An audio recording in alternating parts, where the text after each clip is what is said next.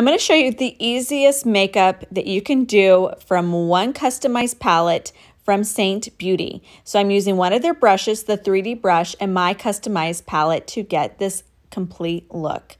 I am going to show you just one way to apply your 3D foundation. So these three tins are customized to my skin tone and you can apply these in any order that you would like. I'm going to show you just one easy way to apply your 3D foundation by starting off with my contour.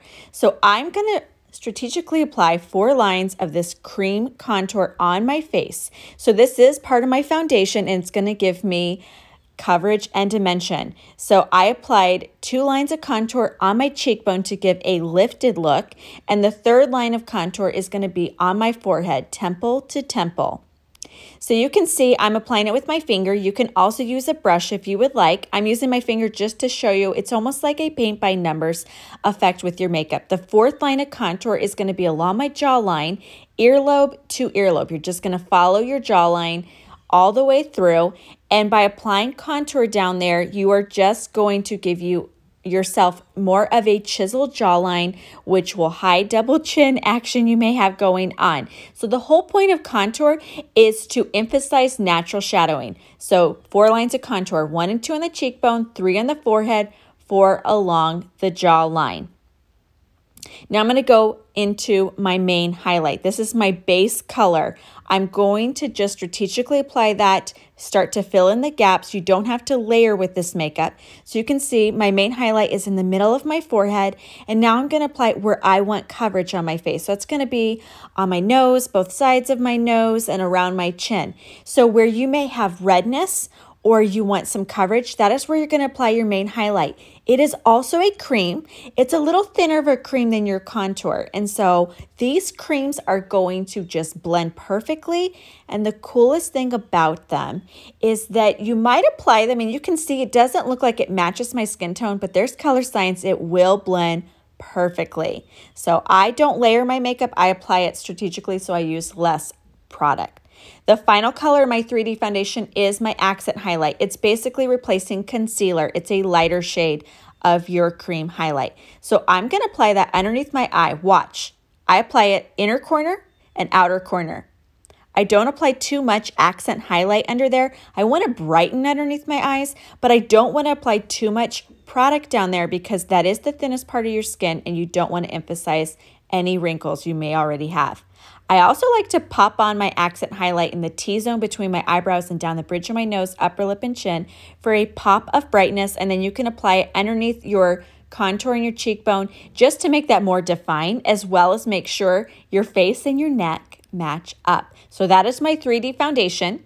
At this point, you could blend it. I'm going to show you, I'm just going to show you how cool this is. You can also apply your blush at this point. This is a lip and cheek. This is the shade Frenchie. I've popped Frenchie on the high points of my cheekbone. I love blush. It does give you a beautiful finished look to your makeup. And now where the magic happens, we're going to blend this all out. So I'm going to blend this out with the 3D brush. You can blend your makeup out with any of our brushes from Seint. They are specifically made to apply and blend these creams like a dream. So I've taken the bunny end tail of the 3D brush. This is probably the most popular brush we have because it's so universal and friendly and easy to use in the beginning. I'm stippling my main and accent highlight first with the 3D brush. I'm not swiping. You don't have to work too hard with these creams. They blend gorgeous. And then I'm going to switch ends of that double end brush to the smaller end to focus on the more petite areas of my face. So what I love about these creams, they blend really, really well and they don't move around. You can just see I don't have to take my brush and wipe it off. It's blending it perfectly. So you can also see after I've applied or blended out that highlight, I'm going to move on to the contour blending. When you're blending your contour, you want to make sure you blend that contour line in your forehead up into your hairline. And then when you blend your contour on your cheekbones, you want to make sure that you blend it upwards. So I want to blend upwards because the whole point of this look with the makeup is to give yourself a more lifted look so that your face looks thinner. When you blend that contour along your jawline, you want to blend it really well so you don't have a harsh line.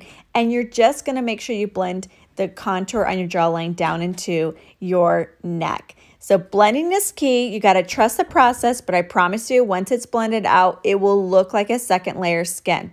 Don't skip this important step though.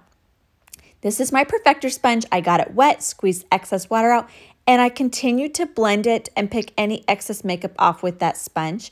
And then I'm going to set my makeup with our setting spray just so I can lock in my makeup so it lasts all day long and is flawless. Couple optional things you can do on top of your 3D foundation and blush is to add bronzer just to warm your skin up a little bit. I use bronzer year round.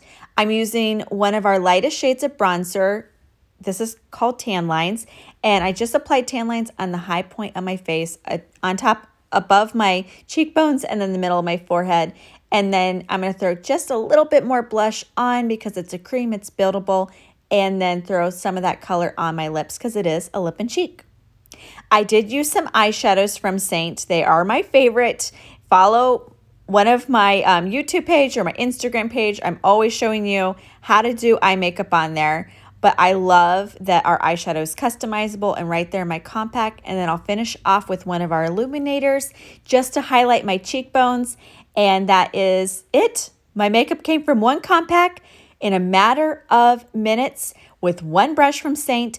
All you have to do to get started and get your color recommendation for your 3D foundation and a few suggestions for eyeshadows, blush, and all that jazz is to get color matched by me, and then I'll help you build a compact and we'll get you started.